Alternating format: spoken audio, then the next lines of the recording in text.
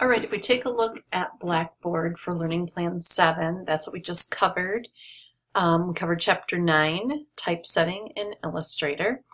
And your next project, Project 3, is um, an event poster. So you have all this week, next week, Tuesday, my in-person class is having the whole day as a work day with their work due at noon, but you guys I'm allowing to have all day Tuesday, so it's due by midnight on Tuesday night. And I'm just going to pop down to the Dropbox and make sure that that's indeed what I've coded it to be. So Tuesday night at midnight. Um, so there'll be no new lecture next week. We'll be just working on this midterm project. So what it is, is right here. It's an event poster. I want you to think of this as your midterm test. And much like in Photoshop, this is giving you a chance to really showcase all of your Illustrator skills, the best practices, everything we've learned, organizing and naming layers, um, using type, using color, etc um, you are going to be creating a full bleed 1117 poster. Now, what that means is when you're setting up your Illustrator document, it is 1117, but you need to add the bleed in the artboard. And if you don't remember doing that, look back in your book. We need 1 eighth of an inch of bleed all the way around. So 1 eighth on the left and 1 eighth on the right is 2 eighths, which is equal to a quarter inch. So 11 and a quarter inches wide by 17 and a quarter inches tall will allow you, or that's what the bleed will add to it. Now when it comes time to actually print these, we only have 1117 paper and it can't print to the edge. Um, no home printer can do that. So what we'll do is we'll just scale it to print on the 1117 paper but then we would actually trim it down with the paper trimmers so that it looks like a full bleed so that the color goes off the edge.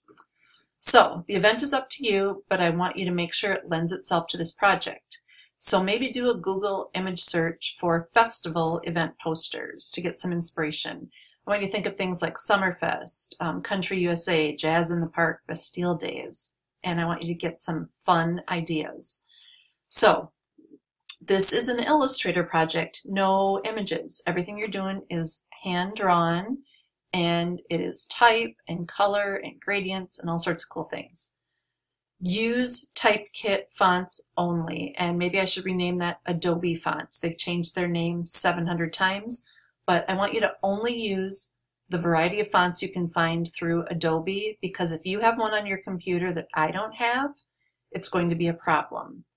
I want you to get in the habit of using Adobe fonts.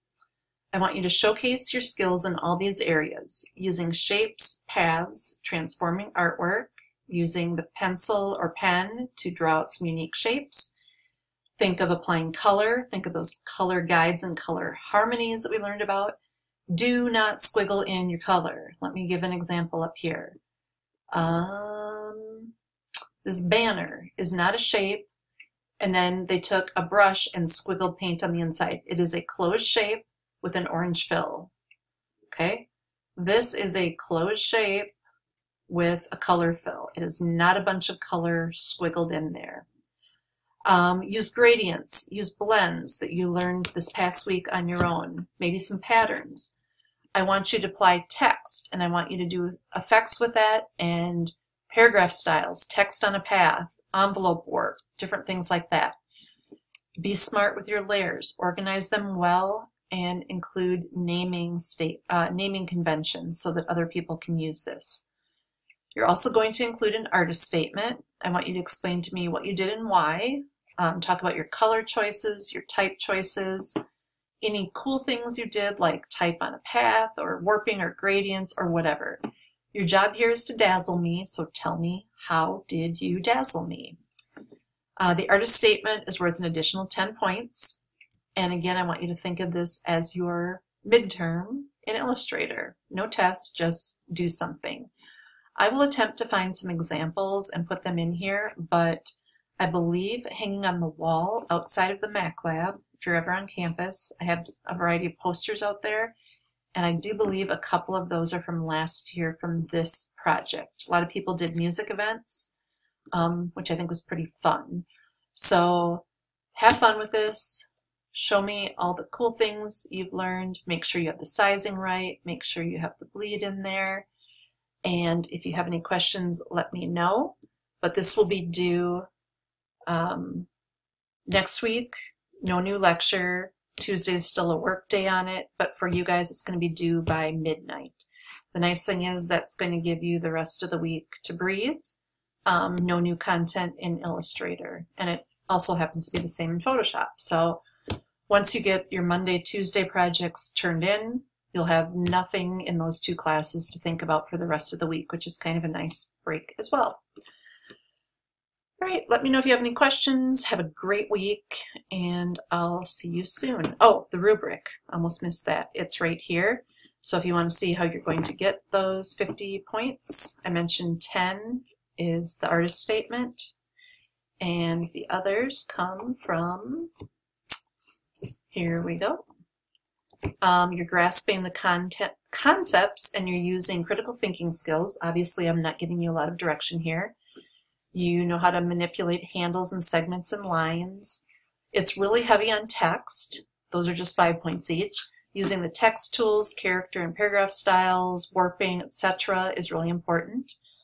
Applying color, using fills, gradients, patterns, things we learned last week is important. And a random 10 points just on, you know, does this contain detail and rigor to be possibly a nice portfolio sample for you? And is this quality work demonstrating to me everything you've learned so far? Your artist statement or designer statement needs to be detailed, complete, no typo, typos or grammar issues. So really explain to me what you did and why. So have fun with it. I'll talk to you later.